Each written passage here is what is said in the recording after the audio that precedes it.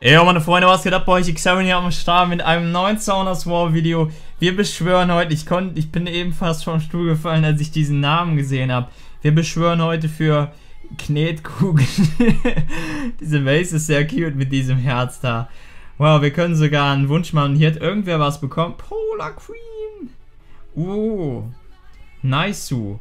Äh, ich farme übrigens nebenbei auf meinem iPad für mein neues, cutes Girl. Ha! Dieser neue Munculus ist so kawaii. Ich denke, ihr habt heute vor diesem Beschwörungsvideo, ich weiß nicht genau, wann was hochgeladen wird, aber auf jeden Fall, bevor das Video hier kommt, kommt der Homunculus. Ich weiß nicht, ob das, ob ich das am Freitag hochlade oder ob ich das hier gerade, was ihr hier seht, am Samstag hochlade. Auf jeden Fall kommt vorher das Homunculus-Video, deswegen spoiler ich jetzt keinen.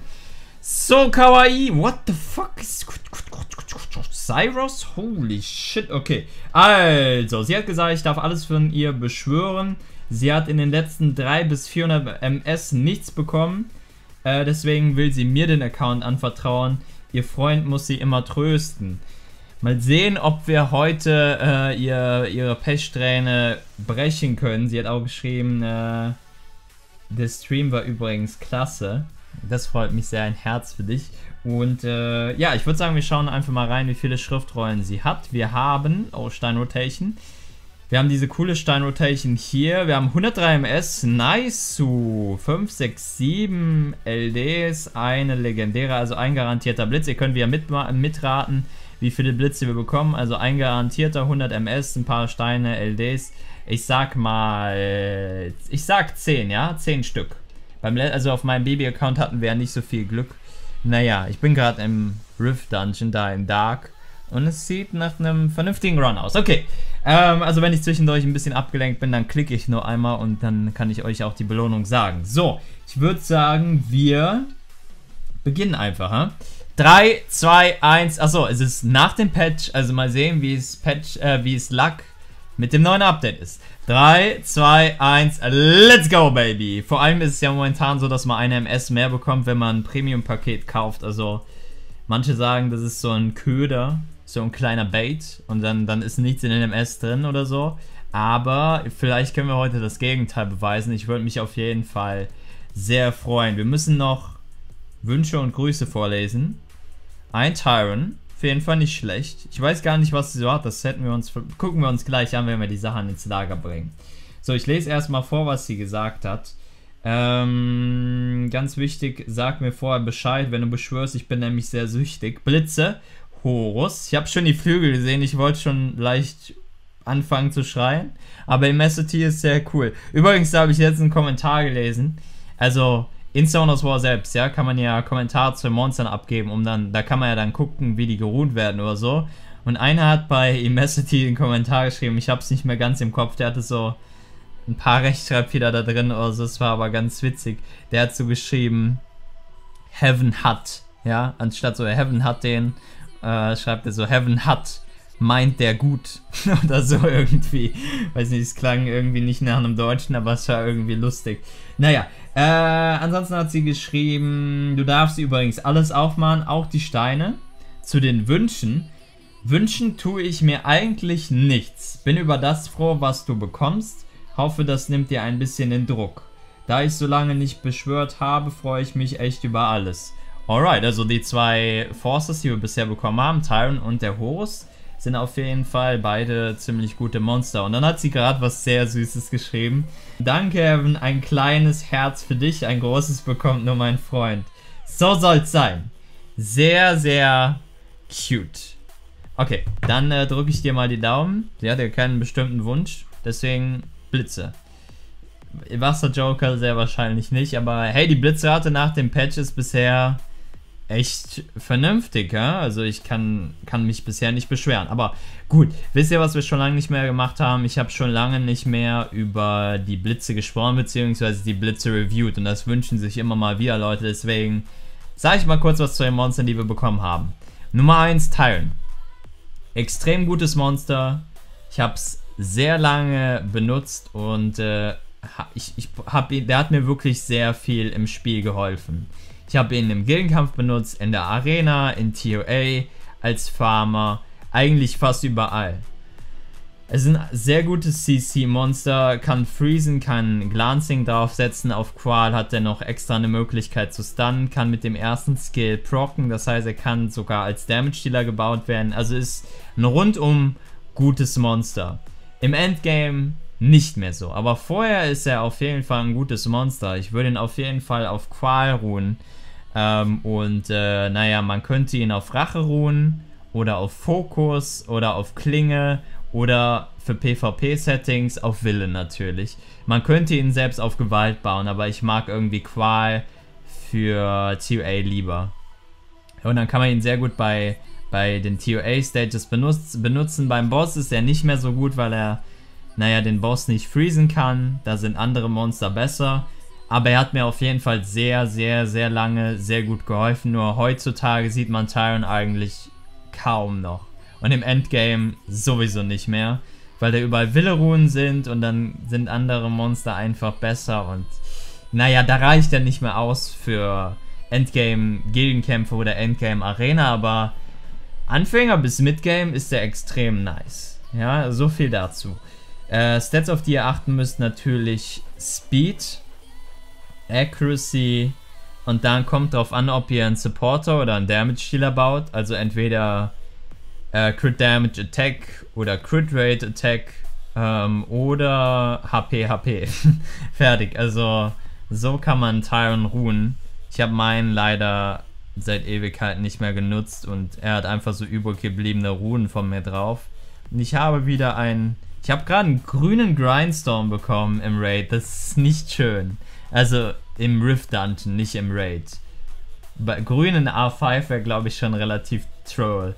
Naja, also Tyron, wie gesagt, Anfänger bis Midgame, sehr tolles Monster. Und ich weiß auch noch, oder ich, ich sehe auch noch immer wieder Leute, die sich einen Tyron wünschen, aber das, aber am Ende verschwindet er leider von der Bild, von der, von der Spielfläche. Leider. Oder vom Spielfeld.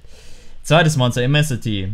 Hingegen ist es ein richtiges Monster, das man immer benutzen kann. Und ihr seht den ja, äh, dass ich den eigentlich in so gut wie jedem Gildenkampf benutze ist ein ex extrem starkes Monster in Kombination mit äh, Ignore Defense Mon also mit äh, Defense mit Monstern, die mit Defense skalieren und vielleicht dann Ignore Defense machen können, wie zum Beispiel Kupfer, Bulldozer, selbst Wind Panda. Das sind alles gute Monster, die man mit Immensity kombinieren kann. Selbst Varat kann man mit ihm kombinieren. Also die passen alle sehr gut zusammen. Auch Basalt, ja, weil wir gerade einen Mammut bekommen haben. Das sind alles gute Monster. Zum Beispiel, hier ist der nächste Horus. Vor allem rundet man äh, Kupfer einfach nicht, also ohne Speed. Und äh, Immensity füllt einfach seinen kompletten Angriffsbalken. Deswegen ist er so gut und ist besser als zum Beispiel eine Megan oder so, die auch Defense Buff gibt. Aber er ist einfach der perfekte Partner für einen Kupfer, weil er nicht nur Defense Buff gibt, nicht nur die Attack Leiste komplett füllt, sondern auch, ja, Simpsons, sondern auch einen Crit Buff gibt. Also perfekte Kombination. Richtig gutes Monster. Die meisten ruhen ihn entweder auf Tempo oder auf Qual, Speed HP AP, Speed HP Death, Speed HP Accuracy ist eigentlich egal. Meiner ist auf äh, Gewalt. es geht auch, aber da müsst ihr aufpassen, dass ihr schnell genug seid, damit ihr nicht outspeedet werdet von den Gegnern. Weil ihr wollt eigentlich den ersten Turn bekommen. Ähm, und äh, Offset ist eigentlich egal. Schutzwille äh, wäre am besten, also Wille wäre am sichersten. Falls der Gegner doch zuerst zum Zug kommt, kann er euch auf jeden Fall nicht stunnen. Außer er strippt, aber gegen einen Stripper würde ich dann nicht den benutzen. Aber ja, kommt immer drauf an. Und äh, ja, meiner war früher auf äh, Speed HP, Speed Attack HP, jetzt ist er auf Speed HP HP, weil es wichtig ist, dass er tanky ist. Weil er doch oft, irgendwie will Theomas immer mein Immensity anvisieren und der leidet dann, oder leidete, oder litt leidete Heaven. Litt früher sehr unter dem Schaden von Theomas und unter den Procs von ihm. Leider. So, äh, im Lager sehe ich kein Net 5, dann schauen wir mal, was wir für 6 Stars und Net 5s hier haben. Das wollte ich mir angucken. Nicht mehr genug Platz. Was? So? So? Okay, es passt. So, wir haben gar nicht so viele Sixers, okay. Schauen wir mal hier. Wir haben Raki als Net 5. Und ansonsten nur ein Net 5. Oh, dann müssen, müssen wir hier ihr definitiv noch ein Net 5 ziehen. Wünsche ihr das. Okay, wir, wir brauchen dringend Glück. Bitte. Kommt du hast da auf unserer Seite. Es ist Pre-Patch. Was bekommen wir hier? Ich bekomme... Kritschaden 5-Star-Rune. Shit, Kampfgeist. Ja, also bei mir im Raid hier gerade. Im Rift. Ich, sa ich sag dazu jetzt immer Raid. Ich weiß auch nicht. Rift. Man, komm bitte 105 für sie. Ich wünsche es ihr. Irgendwas Schickes, please. Das wäre auf jeden Fall sehr gut.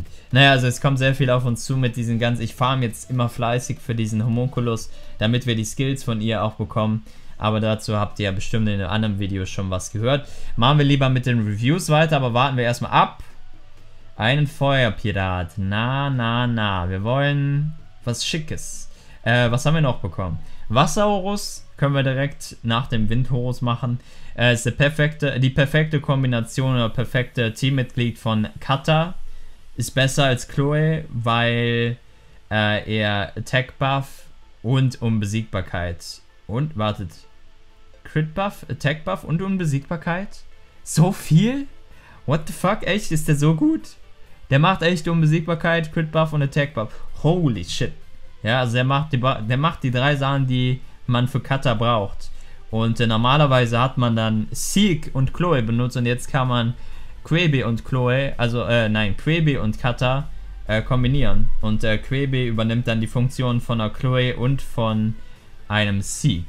Wobei die Unbesiegbarkeit nur auf ein Monster übertragen werden kann. Und anders als Immensity füllt er nicht den Angriffsbalken. Aber er ist sehr stark. Wohnt man genau wie Immensity, also schnell, entweder Tempo oder Qual. Qual, weil man mit dem AOE dann stunnen kann. Meiner ist wieder auf Gewalt, der ist, er ist auf Gewalt Schutz. Und es ist ein Liesel. Gewaltschutz, weil äh, ich äh, Kata mit äh, Bernard benutze und dann braucht er keinen Wille, weil er sowieso vor den Gegnern 100% drankommt. Aber Immensity benutze ich ja ohne Bernard. Äh, da ist ja entweder Ciara oder Wind Panda oder Bulldozer dabei. Äh, und da brauche ich dann ab und zu schon mal Wille. Also da ist Wille auf jeden Fall besser. Äh, wieso bekommen wir kein Net 5 hier? Wenn sie seit 300 Rollen nichts bekommen hat, wird es dringend Zeit. Okay, machen wir erstmal die Steine. Ganz zum Schluss machen wir die eine legendäre. Aber ich habe ein gutes Gefühl heute irgendwie bei der LD. Ich weiß auch nicht. Pre-Patch LD Net 5? Kann es sein, dass ein LDNet 5 kommt? Please? Nein? Ah, okay, hier kann gar kein LDNet 5 rauskommen, aber die Steine sind wie immer Bullshit. Wobei, ich kann mich bei den Steinen irgendwie nicht beklagen. Aber ich will schreien. Darf ich bitte schreien? Please? You piece of shit game. Ich sollte vielleicht aufpassen, was ich sage, weil ich weiß ja jetzt, dass Konto aus ab und zu mal meine Videos schaut. Deswegen. Hallo Konto aus beleidigt nie eure Firma. Nein, dieses Spiel ist wirklich amazing. Nur manchmal darf man sich ja über die Blitzrate aufregen, oder? Wenn sie seit 300 bis 400 Schriftrollen keinen Net 5 bekommen hat. Wieso nicht? Wo ist das Problem? Es darf nicht wahr sein, bekommen andere in äh, 70 Schriftrollen 2 Net 5s. Hust, hust, Sophie. Komm schon. Please. Bitte wenigstens ein Blitz in einer LD-Schriftrolle. Das ist doch nicht zu viel verlangt. God damn it. Also, wir bestellen, aber Lin ist sehr nice. Sehr gut. Äh, wir bestätigen, pre-patch pre, äh, äh, ist das Luck irgendwie nicht größer als vorher. Die legendäre. Warten wir erstmal meinen Run ab. So, mein Run ist durch. Bekommen wir irgendwas Gutes in der Schatzkiste? Wir bekommen. Ja, 5 Star. Okay, 5 Star. Ich bin auch durch. Ich habe genug Pieces. Also genug Stücke. Vielleicht ist bei mir was im Shop. Vielleicht bringt uns das Glück für die legendäre. Nein, bei mir ist nichts im Shop. Shit. Okay. Was machen wir jetzt? Sollen wir kurz so rausgehen? So, la la la. Okay. Jetzt ist Zeit. Legendär. Net 5. Komm bitte. Schenke was Gutes, please. 3, 2, 1. Let's go, baby. Bitte, bitte, bitte, bitte, bitte, bitte. Uh, no. Also der ist nicht schlecht. Der ist eigentlich ziemlich gut für Necro. Also für später auf jeden Fall behalten. Den benutzen jetzt extrem viele Leute in Necro. Ich weiß gar nicht, ob ich ja. Ich habe. Ich, ich glaube, ich habe noch nicht mal einen. Also ich glaube, ich habe nie einen bekommen. Ich weiß nicht. Äh, aber der ist extrem nice für Necro. Also immerhin das. Also die Forsters, die wir hier bekommen haben, waren eigentlich alle ziemlich gut. Nur leider kein Net 5 und ich hätte es ihr wirklich gegönnt, weil sie nicht wirklich viele Net 5s hat, beziehungsweise 1. Zählen wir mal. Ich habe 10 geschätzt. Wir haben bekommen 1, 2, 3, 4, 5, 6, 7, 8. Wow, nur 8 Stück. Das war wenig. Also die Blitzrate war am Anfang gut und am Ende hat sie ein bisschen nachgelassen. Juh. Aber zu den Forsters ganz kurz. Gut. Äh, Skill-Ups. Gut. Gut. Beziehungsweise sie hat eine schon, deswegen Skill-Ups. Äh, Skill-Up. Äh, gut. Äh, Skill-Up. Gut. Also, die Forsters waren wirklich vernünftig. Vor allem hat sie eine Rakshasa. Wann werde ich sie bekommen? Werde ich sie jemals bekommen? Werde ich jeweils eine Hua bekommen? Ich weiß nicht. Das ist so... Sie will irgendwie nicht zu mir. Was, was, was habe ich dir angetan? Blödes Monster, ey. Ich würde dich doch zum Sixter machen. Aber okay, kümmern wir uns erstmal um unseren cute Homunculus Girl. Ja, unser, um unser Supporter. Ah, ich freue mich schon darauf. Naja, also Ausbeute von den Forsters war gut. Ähm, Ausbeute von den LDs war okay. Also immerhin Lin. Und der, naja, der Dark, äh, der Light, äh, wie heißt der, der Light, ich habe den Namen vergessen. Der hier. Der Light Sensenmann ist jetzt nicht wirklich besonders, aber auch nicht wirklich schlecht. Also, den würde ich auf jeden Fall mal behalten. Aber Lin ist auf jeden Fall gut. Und Forsters waren teilweise auch in Ordnung. Nur ich hätte ihr Net 5 gegönnt. Das ist das einzige Problem, was ich mit dieser Beschwörungssession habe. Ansonsten waren gute Forsters dabei. Also Piraten, Horus und so, da wisst ihr ja, dass ich genau sowas will und Kung Fu Girls auch. Also es wäre eigentlich von Skill-Ups her sehr gut gewesen. Und wenn sie die Monster noch nicht hat, weil ich sehe kein Immensity und kein Quebe, den kann man sich natürlich fusionieren, aber Immensity nicht. Äh, die sind beide sehr stark und äh, der Wasserlich natürlich auch. Also für später auf jeden Fall ist was dabei und vielleicht mag sie Tyrant oder so. Ah, sie hat schon ein Immensity. Aber trotzdem, wirst du auf jeden Fall nicht bereuen, weil der braucht später Skill-Ups. Naja, also war, war okay, sage ich mal so. Wir können uns ja nicht immer über Comtos beklagen, aber ab und zu Net 5, ich hätte sie auf jeden Fall gegönnt. Naja, okay. So, ich hoffe, euch geht's gut. Wir sehen uns im nächsten Sound War Video wieder. Haut rein, Freunde. Bis zum nächsten Mal. Ciao.